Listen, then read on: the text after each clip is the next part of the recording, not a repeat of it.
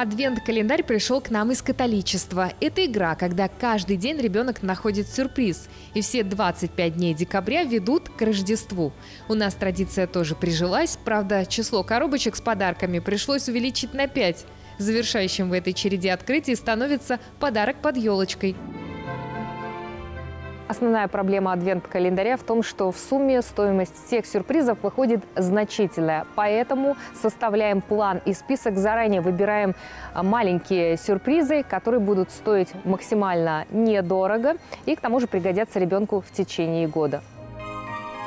Дети обожают сюрпризы, причем эта увлекательная история с адвент-календарем порадует даже подростков. Кстати, косметические бренды, основываясь на этом детском восторге, каждый год делают адвент-календари для совсем взрослых девочек. Для детей всегда важен сюрприз. Если сделать адвент-календарь традицией, то каждое декабрьское утро будет наполнено чудом. Вы сами будете в восторге, когда увидите, как малыш радуется мелочам, найденным в мешочках.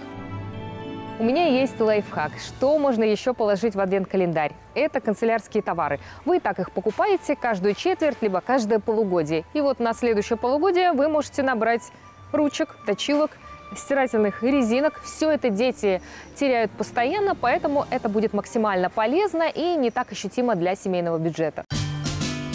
Ластики по 3 рубля, ручки можно и за 2 найти. Яркие точилки. Письменные принадлежности всегда нужны. Из практичного можно добавить милые носочки. Приятная и полезная вещь. А еще зубная щетка с любимым героем. И, конечно же, сладости. К тому же все эти сюрпризы можно сопроводить заданиями. Ну хорошо, пусть не такими, но сыграть в игру или посмотреть семейный фильм вечером, а может приготовить печенье – идеальные варианты.